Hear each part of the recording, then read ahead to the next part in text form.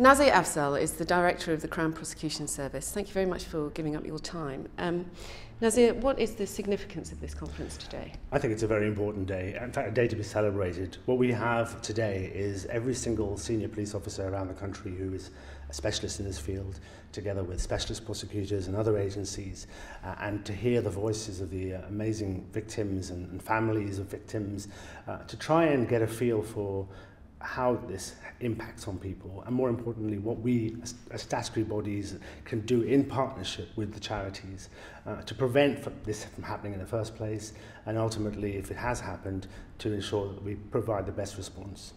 You at the CPS recognised that things just weren't good enough and so this summer you quite literally re rewrote the guidelines didn't you? You rewrote the book. Um, just talk me through why you did that.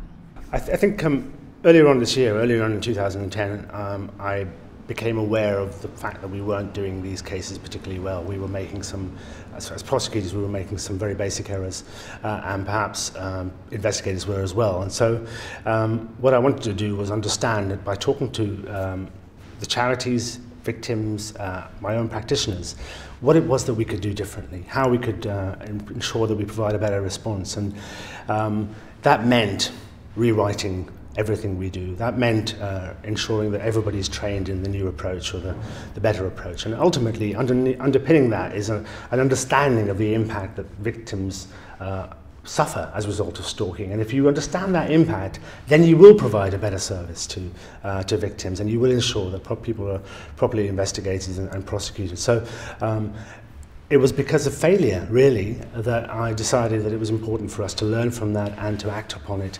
Uh, but we're only at the beginning now. Uh, now we have the guidance, we have all the tools, uh, police, prosecutors, but it's now about working in partnership with the charities and, and victims to ensure that we deliver justice in every case.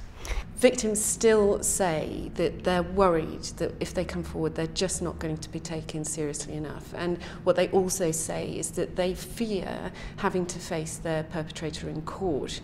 Um, what would you say to allay those fears?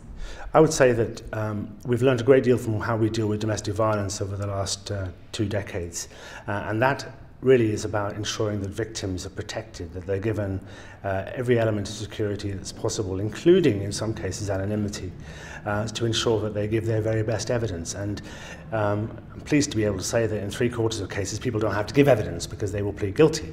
Uh, the perpetrator will plead guilty. But where you do have to give evidence, there are lots of special measures available, which include screens, um, which include giving evidence by video links, so you don't even have to be in the same building, which include um, witness support and victim support, um, and ultimately, as I said in the most extreme cases, the ability to give that victim anonymity uh, so that they don't even, uh, will never be reported, and more importantly, uh, their name does not come out, and they don't feel as if they have to be um, the reason why that person is, is in court. Uh, the justice system should be about the state doing justice, not about the victim doing justice. Uh, and so we should be doing everything that we can as prosecutors and police officers to ensure that the victims have the most most comfortable, if that's the right word, um, uh, process uh, in order to give their best evidence. Um, but it should be about providing them with all the tools that are necessary uh, to do that.